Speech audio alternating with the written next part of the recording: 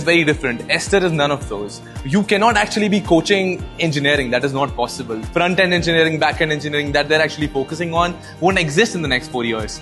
Or institutions like even IITs, they're not prepared for how the world of AI and computer science is changing. So you have to join a course where it's not just computer science. You have to study with AI engineers. You have to see how the field is changing. You have to study where patented technology is being built, where we are working and building robots, hands-on humanoids, printing on our own humanoids and then coding them with our brain, multi-agentic technologies. You have to work with us. You have to spend nine to five uh, every day in the whole week with us. Like like you're working already and in the four years become a senior while you're studying here that's what the future of btech training looks like it's research combined with a job industry level training and working with people who are seniors and experts in the field that's what the future is